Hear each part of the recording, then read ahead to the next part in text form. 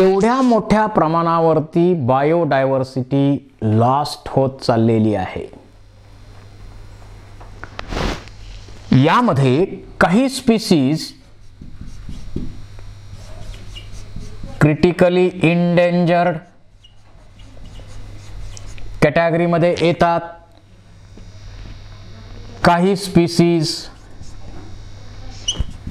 Endangered कॅटेगरीमध्ये येतात.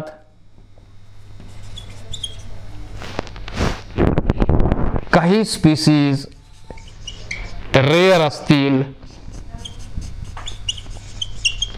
पुलनेरेबर असतील. म्हणजे एकूणच काय? काही स्पीसीज आत्ता वाचवल्या तर ठीक आहे. लॉयन टायगर मस्क डियर हे ते सगळं. यांना आत्ता वाचवलं तर ठीक नाहीतर नजीकच्या काळात एक्सटिंट होण्यात काहीच अडचण नाही. एक्सटिंट हो होण्याच्या मार्गावर आहेत आत्ता त्या. हाय डेंजरमध्ये असणाऱ्या या स्पीसीज क्रिटिकली इंडेंजर्ड आहेत. आत्ता थोडं पॉप्युलेशन आहे पण फ्युचरमध्ये लवकरच त्या नष्ट होऊ शकतात इंडेंजर्ड आहेत. काही रे किंवा पॉप्युलेशन कमी होत चाललंय आणखी एक्सटेन्शन नाही झालेलं इंडेंजर कॅटेगरीमध्ये पण नाहीत गेलेल्या. असे त्याचे ग्रुप्स केलेले आहेत आय यू सी एननं आपल्याला ग्रुप केलेले आहेत त्याची माहिती आपल्याला ऑलरेडी आहेच. आता बायोडायव्हर्सिटी कॉन्झर्वेशन करायचं. ही नष्ट होणाऱ्या एवढ्या मोठ्या प्रमाणात स्पीसीज नष्ट होत चाललेल्या आहेत त्या स्पीसीज आपल्याला कॉन्झर्व करायचं करायच्या त्या वाचवायच्या आहेत. मग ह्या वाचवणं शक्य आहे का? हां? आणि का वाचवायच्या या स्पीसीज या स्पीसीज कॉन्झर्व का करायच्या? तर त्याचं आपल्याला तीन कॅटेगरीज करता येईल. याच्या तीन महत्त्वाच्या कॅटेगरीज आपल्याला करता येतील. नॅरो युटिलायझेशन नॅरो युटिलायझेशन ही एक कॅटेगरी आपल्याला करता येईल.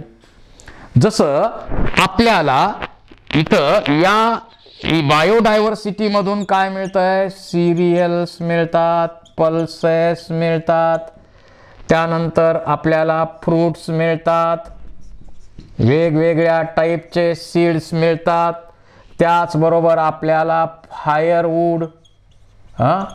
मोठ्या प्रमाणावरती आपल्या देशामध्ये स्वयंपाक करण्यासाठी या फायरवूडचा वापर केला जातो त्याचबरोबर फायबर्स मिळतात. त्याचबरोबर आपण कन्स्ट्रक्शनसाठी सुद्धा मोठ्या प्रमाणावरती या यांचा वापर करत असतो.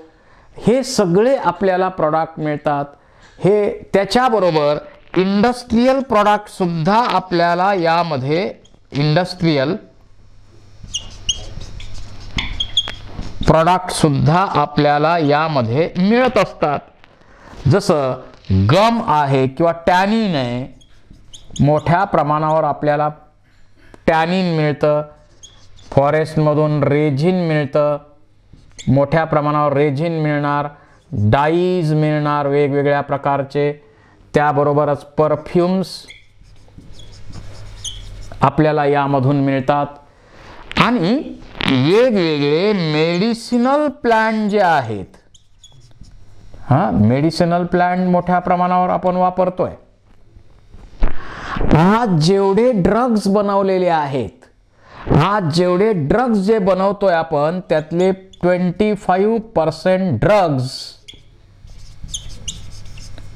हे पंचवीस हजार वेगवेगळ्या मेडिसिनल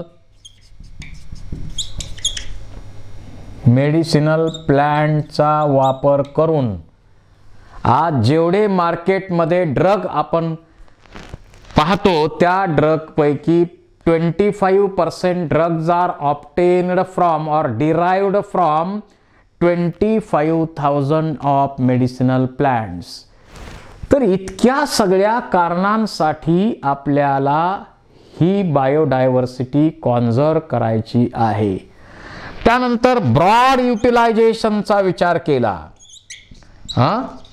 ब्रॉड युटिलायझेशनचा आपण विचार केला तर या बायोडायव्हर्सिटीचा आपण मोठ्या प्रमाणावर आपला फायदा होतो. जसं आपण एखाद्या ठिकाणी जिथं बायोडायव्हर्सिटी आहे एखादा जंगल आहे त्या ठिकाणी व्हिजिटला गेल्यानंतर आपल्याला वेगवेगळ्या पक्ष्यांचे आवाज ऐकायला मिळतात. त्याचबरोबर वेगवेगळे व्हरायटीज आपल्याला वेगवेगळ्या प्लॅन्टचे व्हरायटीज ॲनिमलच्या व्हरायटीज. निसर्गामध्ये किती रिच बायोडायव्हर्सिटी भरलेली आहे हे तिथं आपल्याला पाहायला मिळतं. मग त्यांना वाचवणं ग वाचवलं तर ते पुढच्या पिढ्यांना पाहायला मिळेल ना? म्हणून त्यांना वाचवायचं आहे because biodiversity plays बायोडाय biodiversity play major role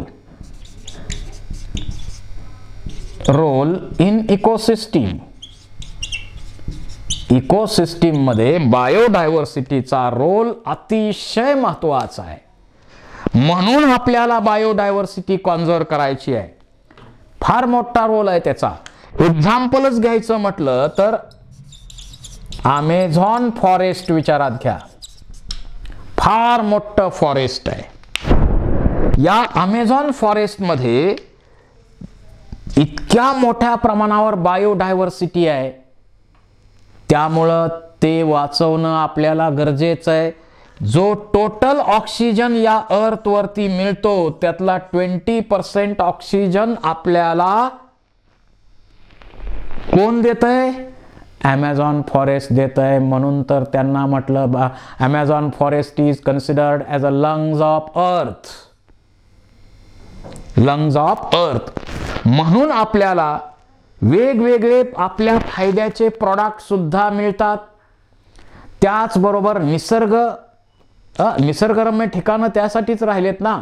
इतकी बायोडायव्हर्सिटी आहे त्यामुळंच आपल्याला तिथं गेल्यानंतर व्हिजिट केल्यानंतर आपल्याला आनंद मिळतो. इतकी डायव्हर्सिटी त्या फॉरेस्टमध्ये किंवा आपण जिथं व्हिजिटला जातो त्या ठिकाणी असते. म्हणूनच आपल्याला वेगवेगळे पक्षी वेगवेगळे पक्षी जर आपल्याला पाहायला मिळाले त्यांचे आवाज म्हणजे नैसर्गिक वातावरण आपल्याला मेंटेन करणं सोपं जातं आहे आणि इतक्या मोठ्या प्रमाणावरती ऑक्सिजन या पृथ्वीवरचा एक फॉरेस्ट आपल्याला देत आहे त्याचबरोबर पॉलिनेटर्स पॉलिनेशनच्या प्रोसेससाठी आपण पाहतो पॉलिनेशनच्या प्रोसेससाठी वेगवेगळे एजंट लागतात. या यामध्ये सर्वात मेन एजंट आहे इन्सेक्ट मोठ्या प्रमाणावर पॉलिनेशनच्या प्रोसेसमध्ये इन्सेक्ट पार्टिसिपेट होतात. ॲग्रिकल्चरमध्ये सर्वात कॉमन पॉलिनेटर आहे. ॲग्रिकल्चरमध्ये मोठा पॉलिनेटिंग एजंट आहे इन्सेक्ट त्यामध्ये हनी बी हनी बी हा सर्वात कॉमन पॉलिनेटिंग एजंट ॲग्रिकल्चरमध्ये आपण पाहतो. इन्सेक्ट हा सर्वात मोठा एजंट आहे पॉलिनेशनच्या प्रोसेससाठी इन्सेक्ट बरोबर आ, आता समजा बीज आहेत बंबल बीज आहेत. बंबल बीज असतील. त्यानंतर आणखी बर्ड्स पण पॉलिनेशनच्या प्रोसेसमध्ये मदत करतात. बॅट मदत करतात स्नेल मदत करतात स्नेक मदत करतात. पॉलिनेटिंग एजन्सीज आपल्याला माहीत आहेत. ते पॉलिनेटिंग एजन्सीच्या सह्यानं पॉलिनेशन होतं. म्हणजे पॉलिनेशनच्या प्रोसेससाठी सुद्धा मोठ्या प्रमाणावर आपल्याला बायोडायव्हर्सिटीची आवश्यकता आहे. आणि त्याचबरोबर इथिकल आपली काहीतरी आपल्याला काहीतरी मर्यादा स्वतःला घातल्या पाहिजेत. इथिक्स आपल्याकडे काही आहेत की नाही? जर बायोडायव्हर्सिटी राहिली आपल्याकडून प्रयत्न करून निसर्गामध्ये सर्वात सर्वात डॉमिनंट आणि सर्वात महत्त्वाचा ॲनिमल म्हणून निसर्ग आपल्याकडं पाहतोय. कारण निसर्गाला आपल्या एवढा कुणी स्टडी केला पण नाही आणि निसर्गाचं वाटोळं आपल्या एवढं कुणी केलं नाही अशा दोन्ही बाजू आपल्याकडं महत्त्वाच्या आहेत. तर बायोडायव्हर्सिटी का लॉस्ट होत चाललेली आहे? तिचं ती बायोडायव्हर्सिटी कशी आपल्याला कॉन्झर्व करता येते येईल? आणि त्या बायोडायव्हर्सिटीचं आपल्याला किती महत्त्व आहे? हे इथिकल सुद्धा आपल्याला इश्यू त्यामध्ये अतिशय महत्त्वाचा आहे. आता बायोडायव्हर्सिटी जी लॉस्ट होते बायोडायव्हर्सिटी लॉस जे होते ह्या लॉसमध्ये तीन कॅटा म्हणजे महत्त्वाची कारणं आपल्याला याच्यामध्ये तीन महत्त्वाच्या गोष्टी विचारात घ्याव्या लागतील. एक तर नॅचरल एक्सटिन्शन आहे. नॅ नॅचरल आहे. तिथं आपण काही करत नाही आहे नॅचरल एक्सटिन्शन काही जणाचं होत आहे म्हणजे नैसर्गिकरित्या काही स्पीसीज नष्ट होतात त्याला आपण काहीही करू शकत नाही. जसं डायनॉसोर नष्ट झाला तिथं आपला काही रोल आपण नव्हतोच त्यावेळी परंतु त्यावेळी जे कोणी असतील इतरांचा काही रोल नाही आहे त्याच्यामध्ये. तर अतिशय स्लो स्पीडनं ह्या स्पीसीज हळूहळू हळूहळू हळू नॅचरली पण नष्ट होत असतात. नॅचरली पण त्या नष्ट होत असतात.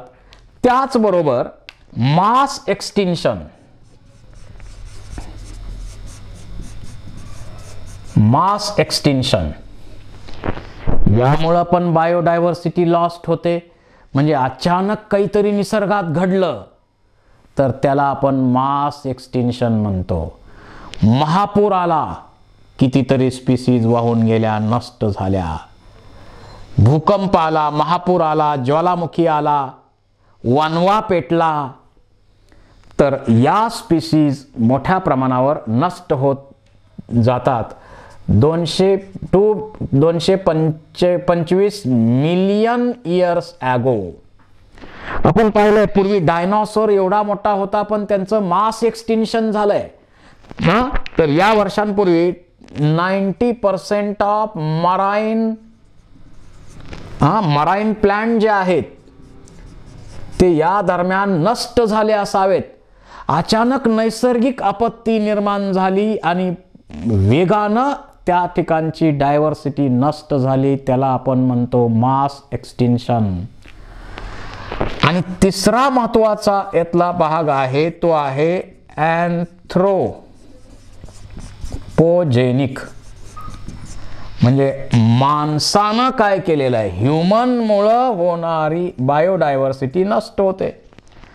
त्यांनी जंगल तोडलं ॲग्रिकल्चरसाठी वापरलं जंगल तोडलं रोड बनवण्यासाठी रेल्वे लाईन बनवण्यासाठी इंडस्ट्री एस्टॅब्लिश करण्यासाठी आपल्या सर्व फायद्यांसाठी त्यांनी या जंगलाचा किंवा या बायोडायव्हर्सिटीचा वापर मोठ्या प्रमाणावर केला. ओव्हर एक्सप्लॉयटेशन झालं. अशा अनेक कारणांमुळं ही बायोडायव्हर्सिटी नष्ट होत चाललेली आहे. तिला आपल्याला आता कॉन्झर्व करायचं आहे.